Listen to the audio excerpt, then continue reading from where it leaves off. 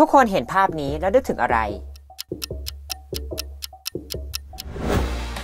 หลายๆ คนก็อาจจะมีคำตอบในใจว่ามาม่า แต่นี่คือบะหมี่กึ่งสำเร็จรูปที่ใครหลาย ๆ คนอาจจะพูดติดปาก หรือไม่ว่าจะเห็นบะหมี่กึ่งสำเร็จรูปยี่ห้อไหนก็ตามก็จะเรียกมันว่ามาม่า วันนี้สถาน SME จะพาทุกคนไปรู้จักบะหมี่กึ่งสำเร็จรูปแบรนด์มาม่าทำไมถึงอยู่คู่คนไทยมาถึงปัจจุบัน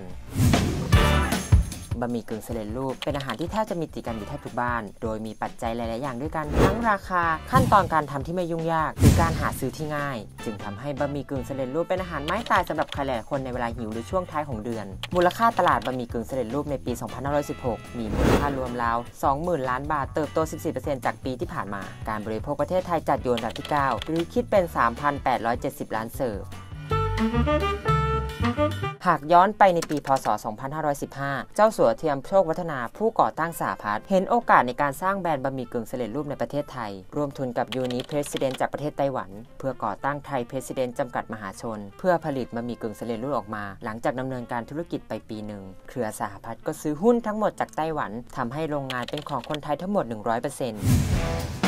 ในช่วงแรกมาม่ายังไม่ติดปากของผู้คนมากนัก เพราะชื่อยำยำและไวๆเป็นคำไทยที่จดจำได้ง่ายกว่าทำให้ยังขายไม่ดี และยังไม่ติดตลาดสักเท่าไหร่ มาม่าจึงมีการปรับกลยุทธ์ใหม่ โดยการทำบะหมี่กึ่งสำเร็จรูปรสซุปไก่ออกมาเป็นรสแรกทำให้ถูกใจผู้บริโภค และมีรสหมูสับก็ได้รับความนิยมมาเรื่อยๆ และการทำรสชาติรสต้มยำกุ้ง ซึ่งมีการแจกทองเป็นกลยุทธ์การตลาดที่สำคัญในช่วง 3 ทศวรรษหลังก็ทำให้มาม่ากลายเป็นแบรนด์อันดับหนึ่งในวงการบะหมี่กึ่งสำเร็จรูปเลยก็ว่าได้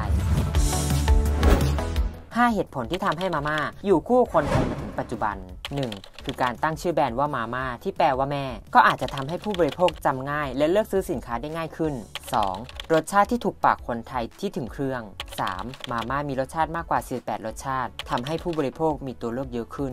4. สินค้ามีทั้งแบบซองและแบบคัพเพื่อเพิ่มความสะดวก 5. มีราคาที่ถูก ผลประกอบการปี 2565 ธุรกิจมีรายได้รวม 27,165.20 ล้านบาท กำไร 2,785.92 ล้านบาท ส่วนในปี 2516 ผลประกอบการบริษัทเพิ่มขึ้นมากกว่าปี 2515 กำไรอยู่ที่ 2,724.34 ล้านบาท มาม่าถือว่าเป็นแบรนด์ที่อยู่คู่และครองใจคนไทย กินส่วนแบ่งตลาดบะหมี่กึ่งสำเร็จรูปมากที่สุด หากวิเคราะห์ตัวเลขก็อาจจะตีความได้ว่า ธุรกิจอาหารประเภทนี้กำลังไปด้วยดี มีผลกำไรยอดเยี่ยม สะท้อนให้เห็นว่าผู้บริโภคซื้อบะหมี่กึ่งสำเร็จรูปกันเป็นจำนวนมาก และมีอัตราเติบโตสูงขึ้นเรื่อยๆ ปัจจัยที่สนับสนุนที่ทำให้บะหมี่กึ่งสำเร็จรูปเป็นที่นิยมสำหรับผู้บริโภค คงจะหนีไม่พ้นการทำการตลาดของแบรนด์บะหมี่กึ่งสำเร็จรูปของแต่ละแบรนด์ที่จัดโปรโมชั่น ออกรสชาติใหม่ๆ ออกมาตามเทรนด์ที่เปลี่ยนแปลงไป เหล่านี้นำมาสู่ยอดขายที่เติบโตขึ้นนั่นเองค่ะ